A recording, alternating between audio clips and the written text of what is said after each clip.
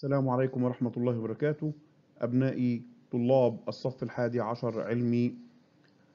معدنا اليوم مع الوحدة الأولى بعنوان الروابط الكيميائية وتركيب الذرات. الدرس الثاني بعنوان التوزيع الإلكتروني الجزء الثالث. في نهاية الدرس يتوقع أن يكون الطالب قادرا على أن يكتب التوزيع الإلكتروني للآيونات الموجبة والسالبة بدقة.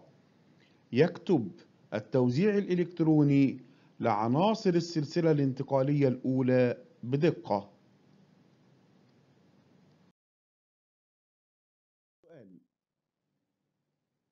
ما الفرق بين الصورتين التاليتين؟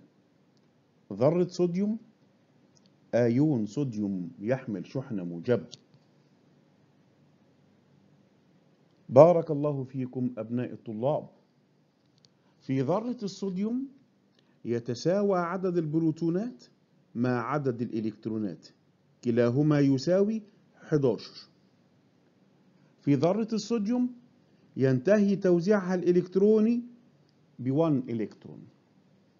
في ذرة الصوديوم 1s2 2s2 2b6 3s1 ذرة الصوديوم متعادلة لأن عدد البروتونات يساوي عدد الإلكترونات.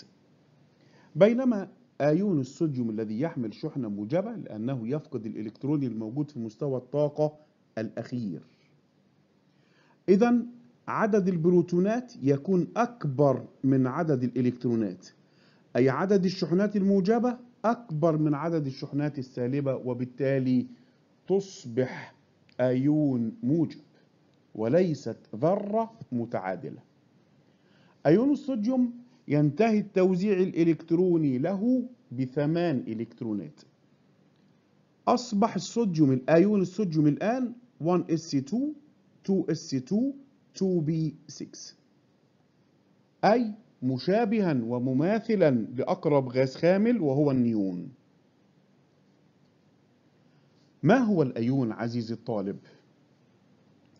هو عبارة عن ذرة فقدت أو اكتسبت إلكترونات وبالتالي يختلف عدد الإلكترونات فيها عن عدد البروتونات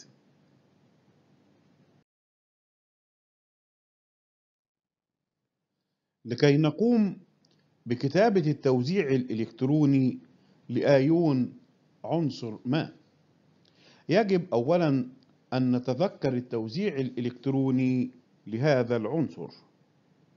مثال عنصر الصوديوم Na يمتلك 11 إلكترون وتوزع كالآتي. في المستوى الأول 1s 2 المستوى الثاني 2s2 2b6 المستوى الثالث 3s1 1s2 2s2 2b6 3s1 أيون الصوديوم يتكون عندما يفقد الإلكترون الموجود في المستوى الأخير وبالتالي يمتلك أيون الصوديوم عشرة إلكترونات فقط. بحذف إلكترون الأخير الموجود في المستوى الفرعي 3s وبذلك يقل عدد الإلكترونات في أيون الصوديوم عن عدد البروتونات بواحد. كما هو واضح أمامنا. بعد فقد الإلكترون يصبح الأيون مشابها للتوزيع الإلكتروني لأقرب غاز خامل وهو النيون 10 مثال آخر. عنصر الفلور يمتلك تسعة من الإلكترونات وتوزع كالآتي. المستوى الأول 1s2 المستوى الثاني 2s2 والمستوى 2p يمتلك خمسة إلكترونات. 1s2 2s2 2p5 أيون الفلوريد يتكون باكتساب إلكترون. وبالتالي يمتلك الأيون عشرة إلكترونات. بإضافة إلكترون آخر إلى 2p فبعد أن كان 2p5 أصبح 2p6 وبذلك يزداد عدد الإلكترونات في أيون الفلوريد عن عدد البروتونات بواحد فيصبح F سالب كما هو واضح أمامنا. أيون الفلوريد F سالب. بعد اكتساب الإلكترون يصبح الأيون مشابها للتوزيع الإلكتروني لأقرب غاز خامل له وهو النيون 10 إذا أبناء الطلاب التوزيع الإلكتروني للأيون هو التوزيع الإلكتروني لذرة عنصر لديها عدد إلكترونات ذلك الأيون تدريب واحد. ما التوزيع الإلكتروني لأيون المغنيسيوم Mg موجب؟ 2 المغنيسيوم في الجدول الدوري أبناء الطلاب يمتلك 12 إلكترون وبعد فقده 2 إلكترونز يصبح التوزيع كالتالي 1s2 2s2 2b6 فأي أيون موجب يعني أنه يفقد الإلكترونات بمقدار ما يحمله من شحنات وبالتالي تزداد الشحنات الموجبة عن الشحنات السالبة. ما أقرب غاز كامل يماثل التوزيع الإلكتروني لآيون الكالسيوم Ca موجب 2 الكالسيوم في الجدول الدوري يمتلك 20 إلكترون. وبعد فقد الإلكترونين يمتلك الأيون 18 إلكترون أي أنه يشبه الغاز الخامل الذي يسمى الأرجون في التوزيع الإلكتروني. إذا أبناء الطلاب الذرات عندما تفقد الإلكترونات أو تكتسبها لتحصل على التوزيع الإلكتروني لأقرب غاز نبيل الأدنى بالطاقة جميعها تكون متساوي في عدد الإلكترونات أي أن لديها التوزيع الإلكتروني نفسه. التوزيع الإلكتروني الفلزات الانتقالية السلسلة الانتقالية الأولى.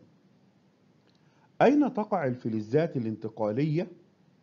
السلسلة الأولى داخل الجدول الدوري كما نلاحظ أنها تقع في وسط الجدول فهذه هي عناصر السلسلة الانتقالية الأولى عشرة عناصر. تبدأ من الدورة الرابعة. تفصل بين يسار الجدول ويمينه. وينتهي دائما توزيعها بالمستوى الفرعي D. حيث تقع الفلزات الانتقالية وسط الجدول الدوري وينتهي توزيعها الإلكتروني بالمستوى الفرعي D. سؤال ما التوزيع الإلكتروني للمنجنيز Mn25 1s2 2s2 2b6 3s2 3b6 4s2 3d5 ماذا نلاحظ؟ نلاحظ أن المستوى الفرعي 4s يملأ قبل المستوى الفرعي 3d ولكن ما السبب عزيزي الطالب؟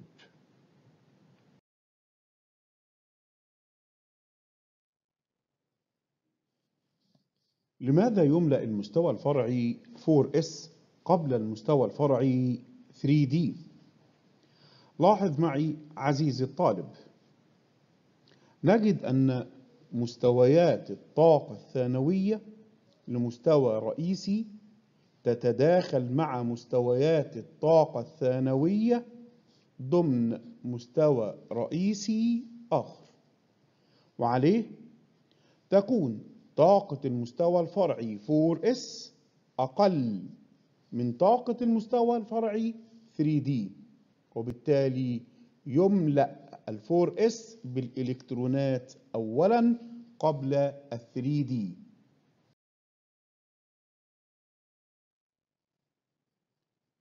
بزيادة العدد الذري داخل السلسلة يفضل التوزيع بالطريقة المختصرة باستخدام أقرب غاز خامل.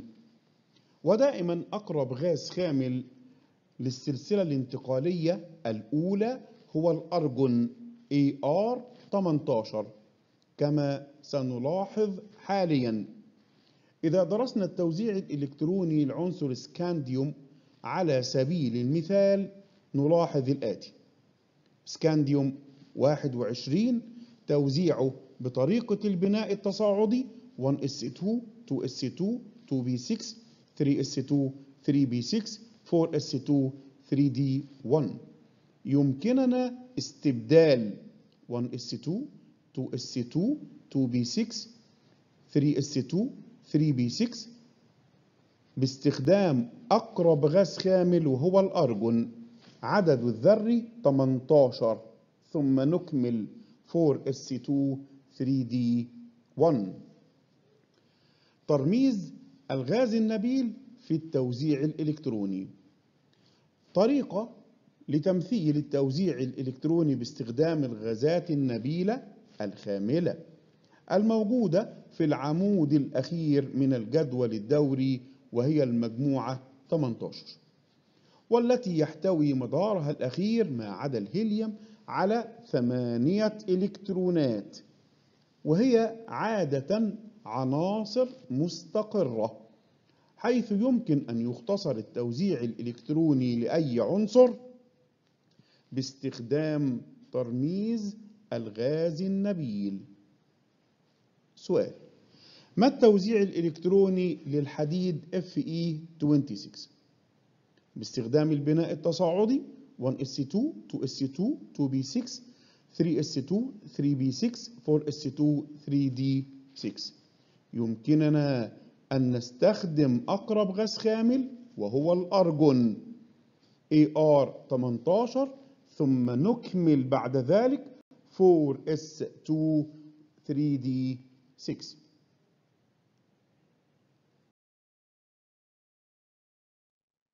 التوزيع الإلكتروني لعناصر السلسلة الانتقالية الأولى. والتي يبدأ عددها الذري بداية من رقم 21 وينتهي حتى رقم 30 ولكن هناك عنصران لهما استثناء خاص في التوزيع الإلكتروني وهما الكروم والنحاس. وذلك وصولا لحالة الاستقرار والثبات كما سنتعرف بعد قليل لماذا يحيد الكروم والنحاس عن التوزيع الإلكتروني عن بقية عناصر السلسلة الانتقالية الأولى.